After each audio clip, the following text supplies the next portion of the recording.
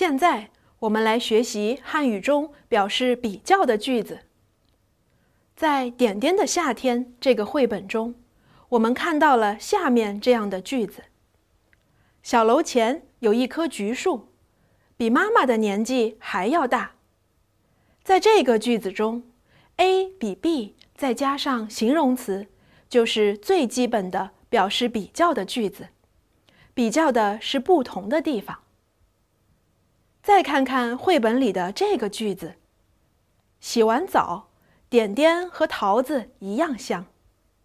A 和 B 一样，再加上形容词，这里比较的是相同的地方。一桌好吃的，点点最喜欢吃螃蟹，最表示最高级。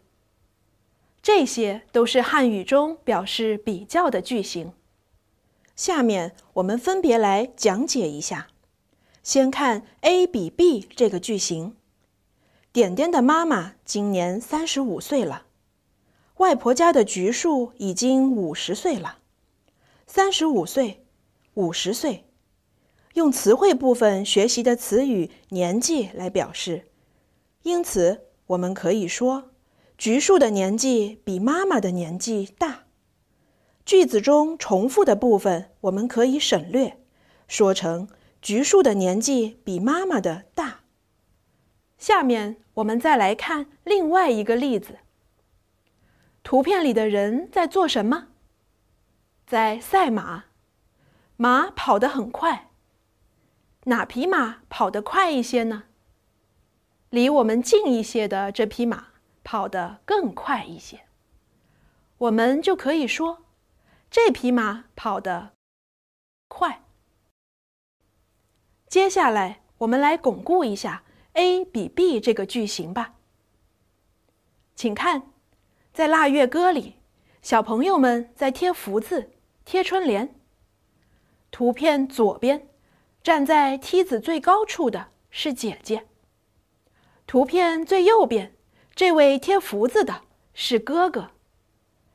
姐姐和哥哥，谁站得高一些？小朋友们，你们说出来了吗？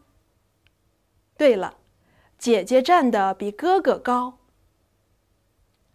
大家看看路边的三栋楼房，哪一个高一些？没错，中间的楼房高一些，旁边的楼房矮一些。我们把句子连起来。中间的楼房比旁边的高。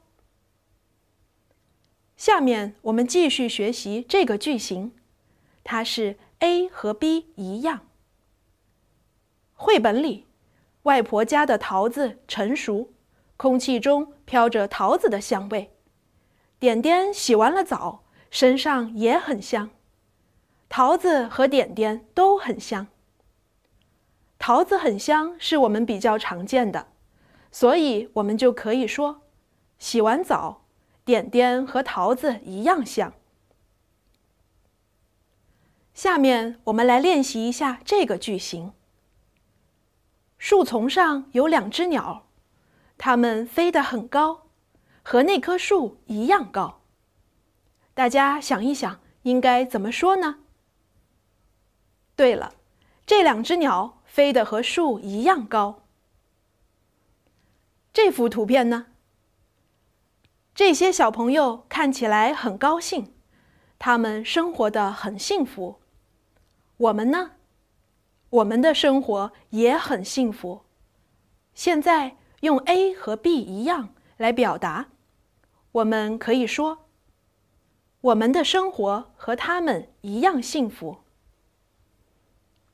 关于表达比较的方法。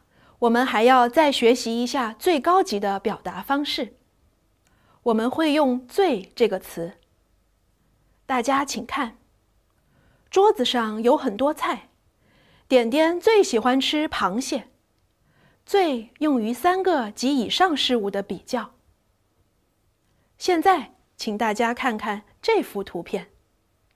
这是一个服装店，服装店里有很多衣服。镜子前的是妹妹，妹妹最喜欢红色的那件。我们今天为大家介绍了三个汉语中用于比较的句子，大家都学会了吗？好，这个知识点我们就学到这里。我们继续听玉林小明说故事。